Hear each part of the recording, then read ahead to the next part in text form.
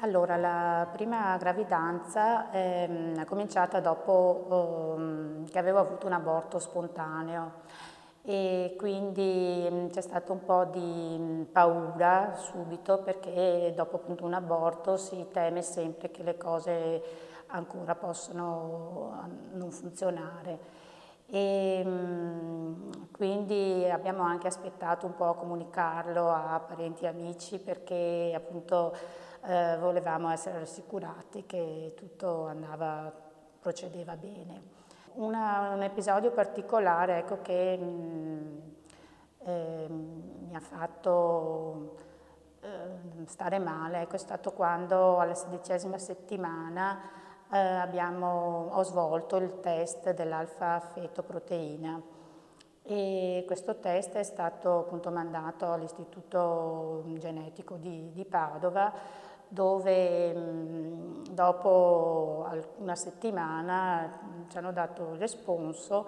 eh, che diceva che c'erano alte probabilità di malattie cromosomiche. Il che siamo stati, è stata appunto una doccia fredda e ci siamo molto preoccupati e avevamo molta paura e insieme appunto a mio marito abbiamo pregato molto perché non ci fosse niente di particolare. Il mio ginecologo mi ha suggerito anche di fare, se volevamo essere così sicuri, la miniocentesi,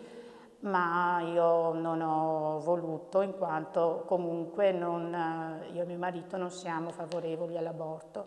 La data presunta era il 24 gennaio 95. Però eh, sono passate due settimane e non succedeva niente.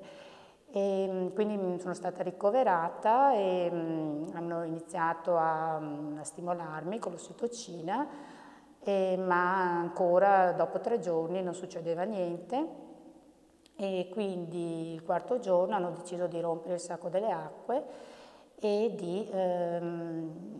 fare una flebo di ossitocina.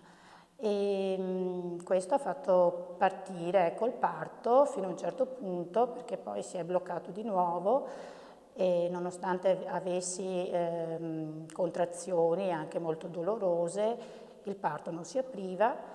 ehm, e poi mh, eh, dopo una mezz'oretta cominciate le spinte, insomma è nata sta bambina che per fortuna era sana e eh, questa è stata appunto la gioia più grande. Eh, e successivamente c'è arrivato appunto da parte di questo eh, istituto di genetica anche la, la richiesta di eh, fare sapere come erano andate le cose e mh, noi non abbiamo risposto perché mh, abbiamo vissuto la cosa molto male, cioè loro ci hanno dato solo dei dati e non ci hanno preparato o non ci hanno rassicurato in nessun modo. E quindi noi non, abbiamo deciso di non dare a loro nessun dato in quanto eh, erano, abbiamo ritenuto che per loro era solo un'indagine statistica e non voleva invece andare incontro alle necessità ecco, de, de, del nascituro e neanche dei genitori.